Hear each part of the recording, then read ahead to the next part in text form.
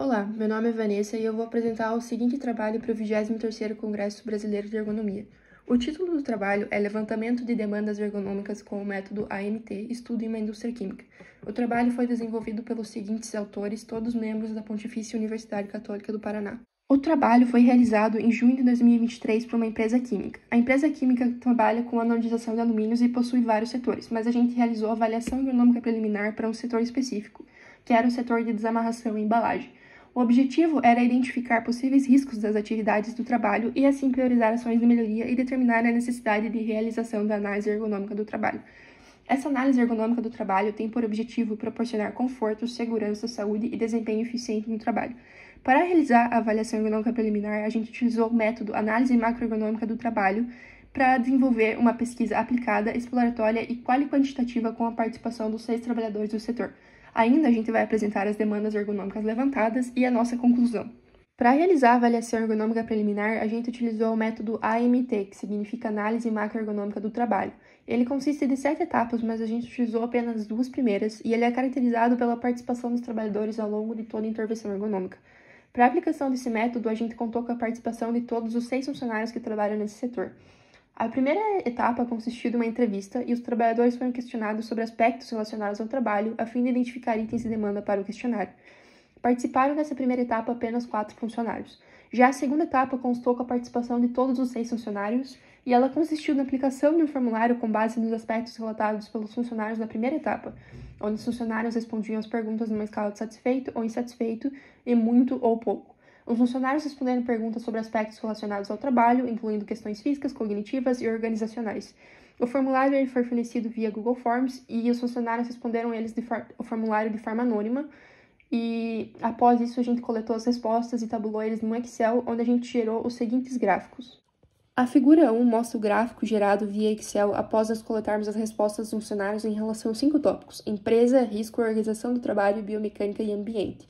A escala varia de 0 a 10, sendo 0 insatisfeito e 10 satisfeito, e a média 5 serve para classificar itens com prioridade de resolução. Como podemos observar, os funcionários eles se encontram satisfeitos em, na maioria dos tópicos, com exceção do nível de ruído, que possui prioridade de resolução. Já a figura 2 demonstra o outro gráfico gerado também após a aplicação do questionário e demonstra a percepção dos funcionários em relação ao conteúdo do trabalho e desconforto barra dor. A escala varia de 0 a 10, sendo 0 pouco e 10 muito e 5 a média, que também serve para classificar itens com prioridade de resolução. Com base nesses itens, é possível identificar que, em média, eles apresentam desconforto barra dor em todas as partes do corpo, sendo as mais acentuadas nas costas, pés, pernas, mãos e braços as quais apresentam prioridade de resolução. Além disso, é possível identificar que, apesar de se sentirem valorizados pela empresa, eles relatam uma alta carga de trabalho e consideram o trabalho estressante, cansativo e repetitivo. Além disso, já se sabe também que há uma correlação entre elevados níveis de estresse e o adoecimento dos trabalhadores. Portanto, fatores como pressão psicológica e repetitividade também devem ser priorizados.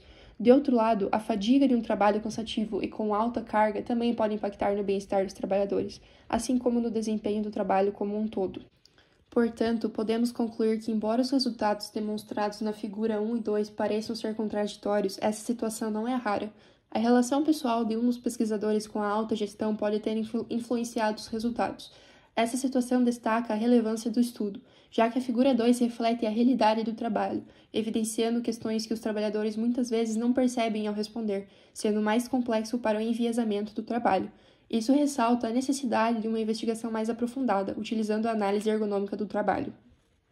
Por fim, os resultados apontaram a necessidade de se reavaliar a forma como o trabalho é organizado, assim como aspectos físico-ambientais do posto, já que os trabalhadores consideram que o trabalho possui uma carga elevada, é estressante e com pressão psicológica, sendo muito cansativo e repetitivo. Além disso, os trabalhadores apresentaram dores principalmente nas costas, pernas, pés, mãos e braços. Embora eles se sintam estimulados e valorizados pela empresa, esses resultados justificam a realização de uma análise detalhada, a AET, conforme estabelecido pela norma NR17.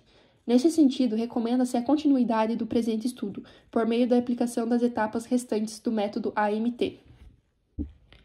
Por fim, eu gostaria de finalizar a apresentação e agradecer pela atenção, e em caso de dúvidas, favor entrar em contato pelo e-mail descrito no canto inferior esquerdo do slide.